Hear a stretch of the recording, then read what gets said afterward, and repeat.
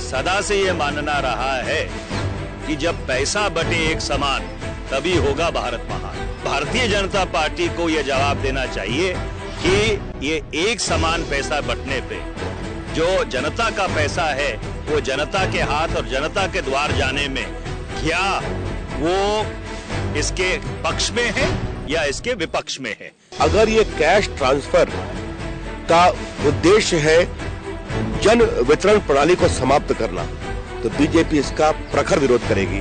और राजस्थान में सोनिया जी की उपस्थिति में जो इसका इतना बड़ा उद्घाटन किया गया था तो आज वहाँ इस तरह से फेल क्यों कर गया है क्योंकि लोगों को पैसे नहीं मिल रहे हैं, जो अखबारों में विस्तार से छप रहा है। आज गरीबों की इतनी याद आ रही है, भले ही दिखावे के लिए तो महँगाई कम क्यों नहीं करते, जिसकी सबसे मार गरीबों को पड़ रही है। पहले खुदरा बाज़ार में एफडीआई तो अब सब्सिडी का पैसा डायरेक्ट खाते में ट्रांसफ़र की नई योजना। हाल ही में सरकार द्वारा लिए गए अधिकतर फैसले विवादों से घिरे हैं। विपक्ष को सरकार के सारे फैसले नामंजूर हैं। एक एक कर सरकार अपने ही फैसलों में गिरती नज़र आ रही है। चुनाव आयोग ने आ, सरकार से कोई स्पष्टीकरण मांगा है तो सरकार का जो उचित महकमा है उचित विभाग है आ, वो स्पष्टीकरण या जो भी जानकारी चुनाव आयोग ने मांगी है वो चुनाव आयोग को मुहैया करवा दी जाएगी। गुजरात में चुनाव सिर पर है। सूबे में आचार संहिता लागू है। ऐसे में सरकार की कैश ट्रांसफ़र की देशव्यापी महत्वाकांक्षी योजना पर सवाल उठना लाजमी है।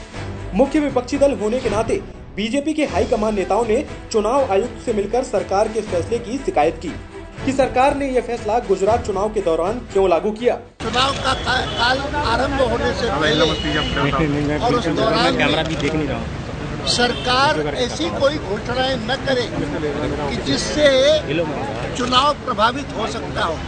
चुनाव आयुक्त ने भी विपक्ष की शिकायत पर नाराज़गी जताते हुए सरकार से इस फैसले पर सफ़ाई मांगी है।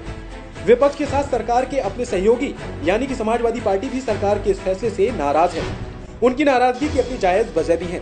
समाजवादी पार्टी सरकार के गुपचुप रवैये पर सवाल खड़े कर रही है। केंद्र सरकार को गुजरात के चुनाव के बाद इसकी घोषणा करनी चाहिए थी। ये टाइमिंग ठीक नहीं थी। ये पूरा विवाद अब पानी की तरह साफ़ है। विपक्ष के आरोप सरकार के फैसले की मंशा पर अपने आप में एक बड़ा सवालिया निशान लगा रहे हैं। उस पर चुनाव आयुक्त की नाराज़गी, संविधान के उल्लंघन पर सरकारी मोहर है। ज़ाहिर है सरकार और उसके मंत्री अब चाहे लाख सफ़ाई पेश करें। सरकार का यह फैसला और उसकी टाइमिंग दोनों ही सवालों के घेरे में है, जो आने वाले समय में सरकार के लिए बड़ी मुसीबत बन सकती है। Bureau report, news point.